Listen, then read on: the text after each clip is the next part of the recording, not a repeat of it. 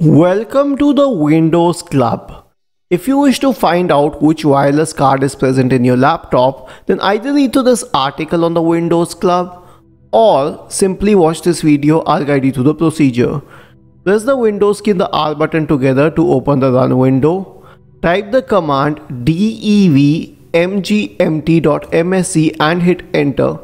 This will open the device manager window. Expand the list for network adapters Usually the second adapter would be something which says either wireless or wired AC. This would be the standard and then it would be followed by a set of numbers ending with megahertz. So this one would be your wireless adapter.